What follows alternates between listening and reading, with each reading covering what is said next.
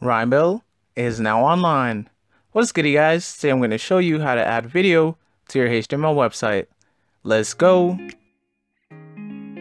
Alright, before we start coding, the first thing you want to do is to make sure your HTML file is in the same folder as your video or video folder.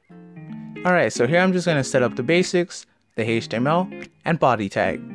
To insert a video, the first thing you want to do is to create a video tag. It's as simple as typing video inside angled brackets. We're just going to hard code the width and height into this tag. And lastly, we're going to add controls at the end of it. This is just declaring that you can control the video, which is pause, play, volume, expand, and so on. It's inside our video tag. We want to create a source tag. This tag is going to have the source attribute and a type attribute. The type just declares what type of video it is, MP4, AVI, MOV, stuff like that.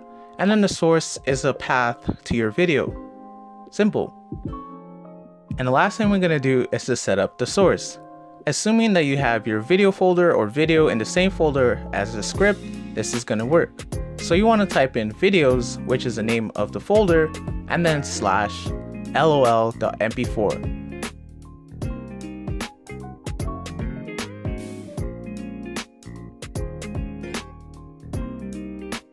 Alright, and the final thing we need to do is to handle errors.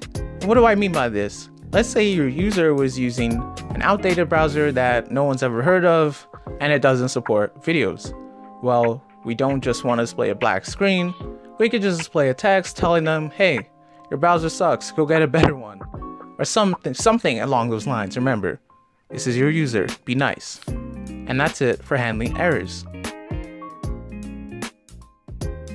Awesome, now with all those set in place, let's go ahead and test out our website. Perfect. You can see the videos being displayed and it works, which is always a good sign. Just a little bit of backstory on this video.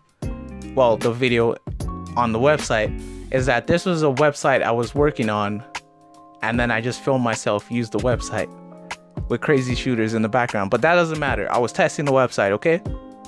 Okay. And that's it, guys. That's how to add a video to your HTML website. Until next time, RhymBil out.